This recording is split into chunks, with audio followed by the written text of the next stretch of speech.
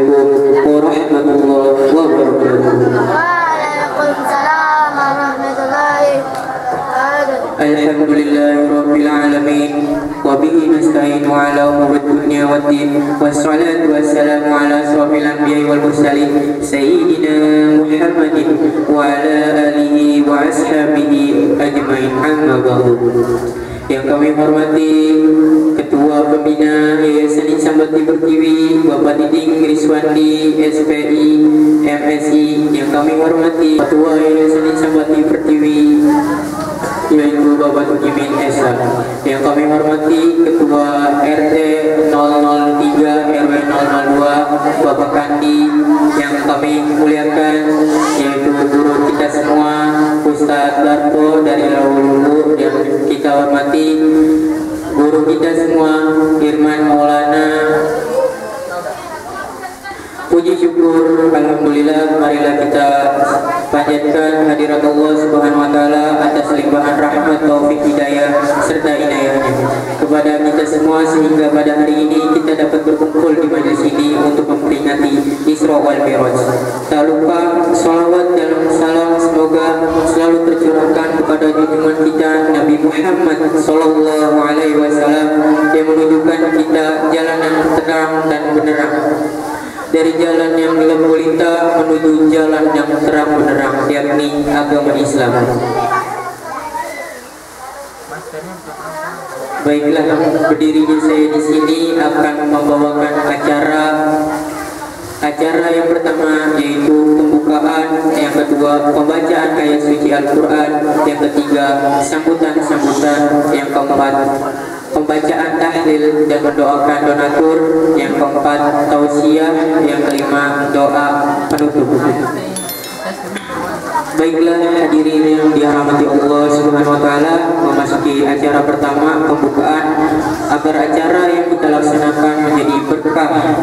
Sama-sama kita buka acara ini dengan membacakan surat Al-Fatihah bersama. Ila hadratin Nabi Mustafa Muhammad sallallahu alaihi wasallam wa ala alihi wa dzurriyyatihi wa ahli baitil kiram. Sayyidina lahum al-Fatihah A'udzu billahi minasy syaithanir rajim الله الرحمن الرحيم الحمد لله رب العالمين الرحمن الرحيم مالك يوم الدين إياك نعبد وإياك نستعين الصراط المستقيم صراط الذين أنعمت عليهم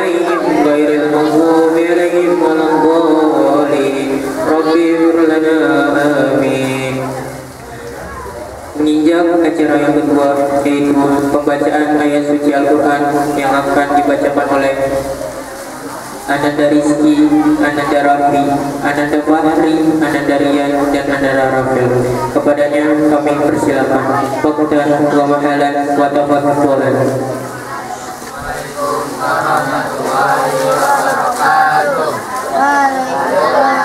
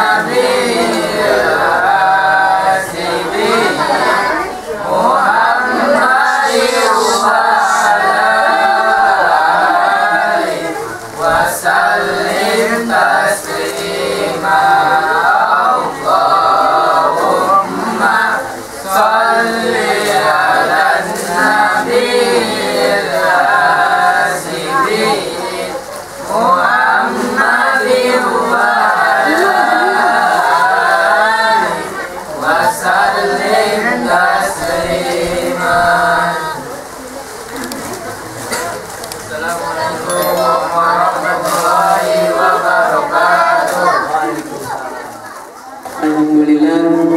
Semoga Al-Quran yang sama-sama kita dengarkan Membawa keberkahan khususnya kepada pembaca Dan kepada kita semua. Amin Ya Rabbal Alamin. Meng- Menginjak acara yang ketiga Sambutan.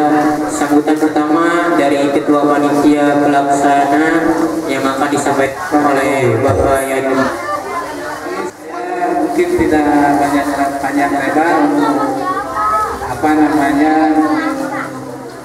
pesan-pesannya kepada di sini semua. Tetapi kami sekali lagi saya mohon maaf dan mudah-mudahan dibukakan pintu maaf yang seluas-luasnya. Dan juga saya banyak terima kasih lagi kepada Bapak Ibu semuanya yang telah mendukung acara ini. Mudah-mudahan acara ini eh,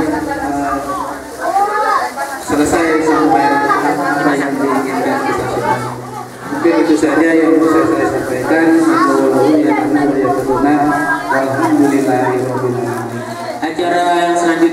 yaitu sambutan dari Ketua Yayasan Isabati Pertiwi yaitu Bapak Tukimin Esa kepadanya kami persilakan waktan wa mahalan wa tafaddul. Bismillahirrahmanirrahim. Assalamualaikum warahmatullahi wabarakatuh.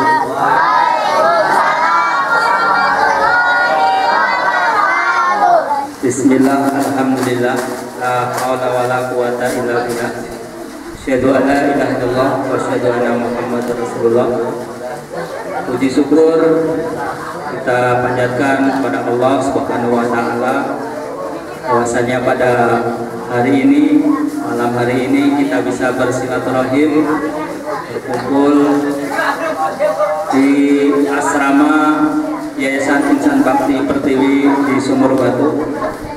Alhamdulillah eh, kami mengucapkan puji syukur kepada Allah Subhanahu wa taala bahwasanya pada malam hari ini kami bersama pengawas yayasan bisa hadir memenuhi undangan dari panitia Bapak Yadi, Pak Adam, dan Ustadz Firman selaku penanggung jawab di asrama Sumber Batu. Alhamdulillah tadi kami dari asrama Putri di Hidayah kebetulan ya sampai sore habis maghrib terus hujan deras banget di sana. Sangat deras sampai depan asrama itu banjir. Tadi makanya waduh ini. Saya informasi dari Pak Adam wah di Sumur Batu katanya nggak hujan. Alhamdulillah berkah semuanya. Di sana hujan ya berkah di sini acara tidak hujan juga berkah Alhamdulillah Bapak Ibu yang kami hormati yang kami muliakan eh, kami datang berdua bersama Bapak Muhammad Sarul selaku pengawas yayasan. Tadi kami sudah sampaikan juga tadinya pembina yayasan Bapak Adi Diding Pak Diding Guswandi dan kami sampaikan rencana yang mau ikut hadir di sini beliau tidak bisa hadir dan menyampaikan salam kepada kita semuanya yang ada di sini. Mungkin tidak banyak yang kami sampaikan eh, sambutan dari kami. Saya hanya mengucapkan banyak terima kasih atas kehadiran bapak-bapak, ibu-ibu dan adik-adik semuanya yang tetap ceria ya mengikuti acara ini. Mudah-mudahan acara ini mendapatkan barokah dari Allah Subhanahu wa taala. Amin ya demikian sambutan dari kami tidak panjang lebar kami cukupkan. Nabi Taufik wal Hidayah Assalamualaikum warahmatullahi wabarakatuh